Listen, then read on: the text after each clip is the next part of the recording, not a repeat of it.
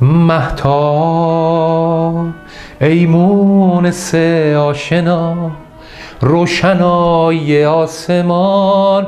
آه محتاب خب باقیشو میسپاریم به زنده یاد خود ویگن محتاب ای مونس عاشقان. روشنایی آسمان. ویژن دردریان در سال 1307 در شهر همدان به دنیا آمد. خواننده و هنرپیشه ایرانی از تبار ارمنی. ویگن تحصیلات متوسطه را در سال 1330 تمام کرد. شغل اصلی وی نقشه کشی بود.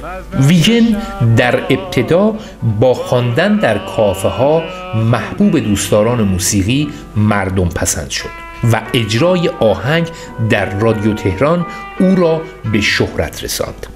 صدای گرم او که با نواختن گیتارش همراه می‌شد و شعرهایی با مضمونهای تازه و ملودیهای نو چهره تازه ای از هنر را در صحنه موسیقی ایران عرضه کرد. از ترانه های مشهور زنده یاد ویگن می توان به آوازهایی چون قناری مرا ببوس گلی از بهشت دختر دریا زن ایرونی همیشه یاد تو هم هفت و هشت مرا یاد بیاور. دو کبوتر و دهها ترانه خاطر انگیز دیگر اشاره کرد. نوع موسیقی او که از ملودی های ارمنی و ترکی و گاه اروپایی بهره می گرفت به جاز ایرانی معروف شد. تا جایی که به او لقب سلطان جاز ایران را دادند. او خود نیز چند آهنگ ساخته است و در دهه 1330 و 1340 از محبوب ترین خواننده های مردم پسند ایران بود. وی با چند تن از خواننده های محبوب دیگر مانند دلکش پوران نیز ترانههایی دو صدایی اجرا کرده است که هنوز هم با اشتیاقی بینظیر لایق گوش سپردن است. با تو رفتم بی تو باز آمدم. از سر کوی او دل دیوانه پنهان کردم. در خاکستر غم آن همه آرزو دل دیوانه او در اوایل دهه پنجاه به امریکا رفت و در آنجا ازدواج کرد و در کاباره های ایرانی به فعالیت های هنری خود ادامه داد.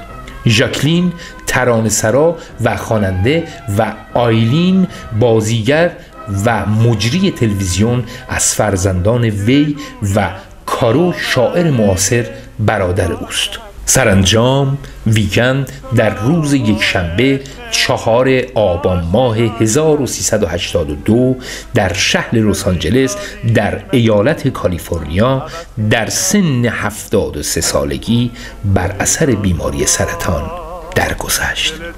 روحش شاد و یادش همیشه گرامی بود. به مزار سینم به خوابارا دل دیوانه.